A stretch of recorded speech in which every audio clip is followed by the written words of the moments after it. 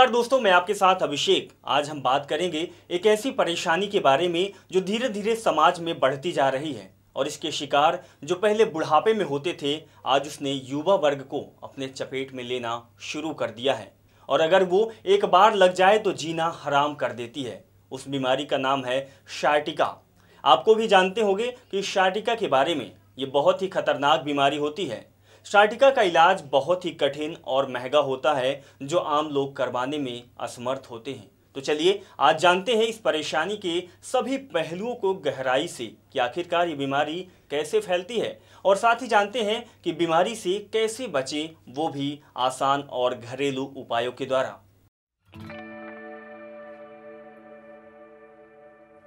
आजकल की भाग दौड़ भरी ज़िंदगी में ऐसे दर्द स्वाभाविक हैं जिनका उपचार भी समय रहते बहुत ज़रूरी है। और उपचार के मामले में हमने आज तक मेडिकल साइंस को खूब आजमाया।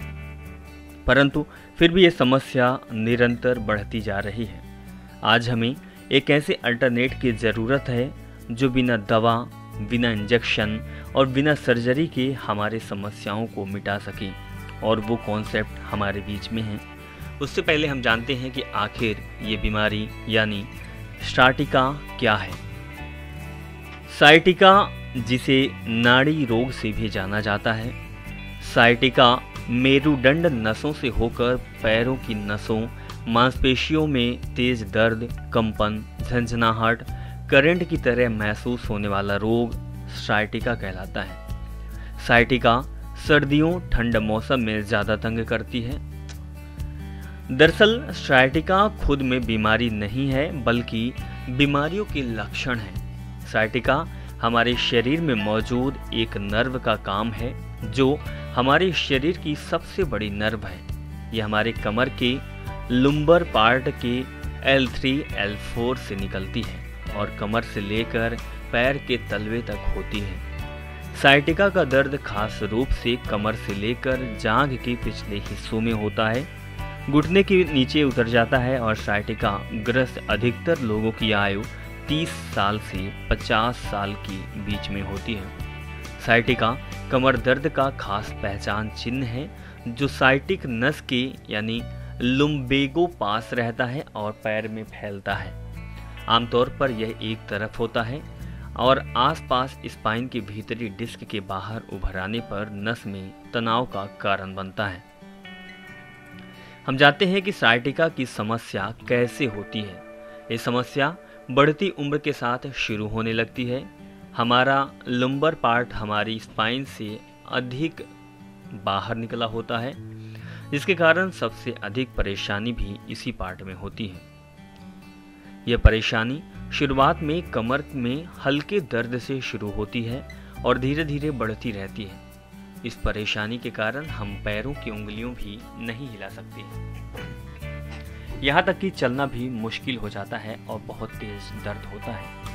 इस नर्व का मुख्य कार्य होता है हमारे ब्रेन से मिलने वाले मैसेज या संकेत को पूरे पैर में पहुंचाना, लेकिन हमारी आजकल की अनियमित जीवन शैली तथा उठने बैठने के गलत तरीकों के कारण हमारी कमर से लेकर पैर तक बहुत अधिक दर्द होता है। साइटिक दर्द मंदे से लेकर अत्यंत दर्दयुक्त और कुछ दिनों से लेकर कुछ महीनों तक हो सकता है। यदि छह सप्ताह से अधिक चलना है तो इसे लगातार साइटिका माना जाता है, यानी क्रोनिक है। शाइटिका के लक्षण क्या है? कमर में हल्का दर्द होना, पैरों में सुन्नपन्न होना, पैरों में दर्द होना, पीठ का दर्द, जो कि सामान्य पीठ दर्द से अलग होता है।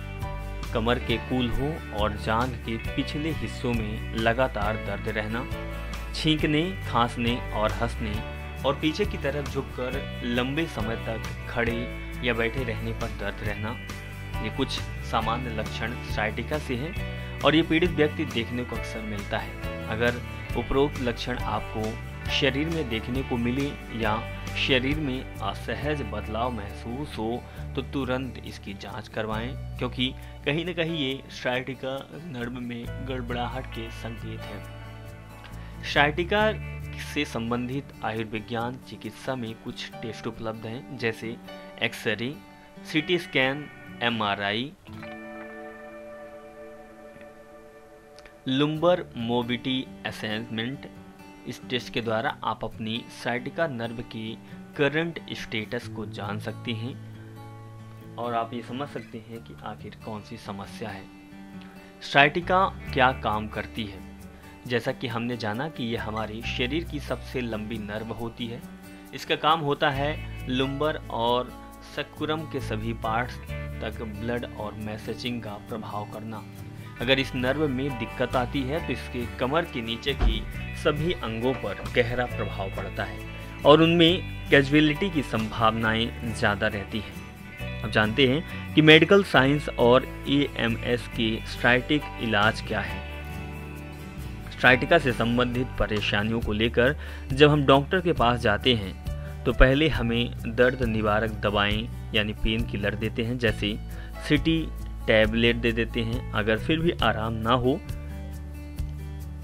तो दवाओं की डोज को बढ़ाया जाता है। और अगर फिर भी आराम ना मिले तो डॉक्टर सीधे लुम्बर पार्ट की एल और 4L5 डिस्क का ऑपरेशन कर देता है, जो और भी भयानक कैंडिडेट्स को बुलावा देता है।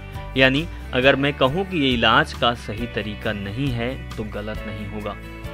साइटिका रोग में आयुर्वेद उपचार के साथ साथ परहेज से आप इसका निवारण कर सकते हैं और इसमें सक्षम होते हैं। साइटिका रोग ठीक करने में carbohydrate calcium antioxidant antibiotic antiseptic anti inflammatory vitamin A vitamin C vitamin B complex potassium magnesium protein वसा iron folic acid, zinc copper ये सभी यौगिक और तथ्यों का मिश्रण सहायक होते हैं और रोग प्रतिरोधक क्षमता बढ़ाने, रक्त को संचार करने या तीव्र गति से संचार करने, रक्त संचार में सुचारू करके साटिका दर्द नष्ट करने में सक्षम पाए गए हैं। कई लोग साइटिका होने पर करंट, झटके इत्यादि लगवाते हैं, जो कि पूर्ण रूप से फ़ायदेमंद नहीं है।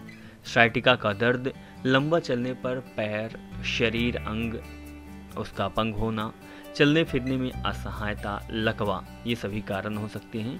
तो अगर आप भी इस रोग से पीड़ित हैं या आपके जान पहचान या कोई रात रिश्तेदार या पड़ोस का है तो आप उसको ये उपाय बताएँ और ऑपरेशन के लिए बिल्कुल ना करें, क्योंकि ऑपरेशन और ज़्यादा दुखमाई होता है और इसका कोई इलाज भी संभव नहीं है। तो ऑपरेशन करने से अच्छा इसका हम अल्टरनेट उपचार निकालें, कुछ घरेलू, कुछ आयुर्वेदिक और कुछ किसी और माध्यम से।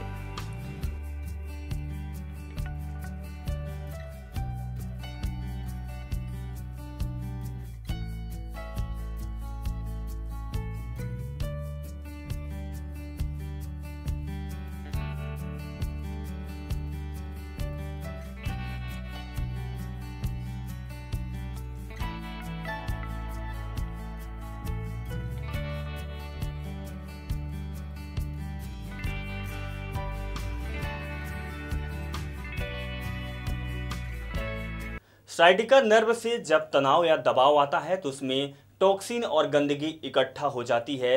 वो हमारे लिए परेशानी पैदा करती हैं। ये दर्द आम होता जा रहा है और अब इसने युवाओं को भी अपने चपेट में लेना शुरू कर दिया है। आज की भाग दौड़ भरी ज़िंदगी में ऐसे दर्द स्वाभाविक है तो इनका उपचार भी समय रहते बहुत ज़रूरी है। और उपचार के मामले में हमने आज तक मेडिकल साइंस को खूब आजमाया। परंतु फिर भी ये समस्या निरंतर बढ़ती जा रही है। आज हमें एक ऐसे अल्टरनेट की ज़रूरत है जो बिना दवा, इंजेक्शन और सर्जरी के हमारी समस्या को मिटा सके और वो कॉन्सेप्ट हमारे बीच में है। अब बस इजाज़त है तो उससे ज़्यादा से ज़्यादा इस्तेमाल की और सबसे बड़ी बात ये कि वो पूर्ण रूप से प्राकृतिक पद्धतियों से लेस है, जिसका इस्तेमाल कर हम लंबे समय तक स्वस्थ रह सकते हैं। दोस्तों, आज के कार्यक्रम में बस इतना ही। मुलाकात करते हैं आपसे दूसरे कार्यक्रम में किसी और रोचक जानकारी के साथ। तब तक के लिए नमस्कार। Subscribe and press the bell icon for latest update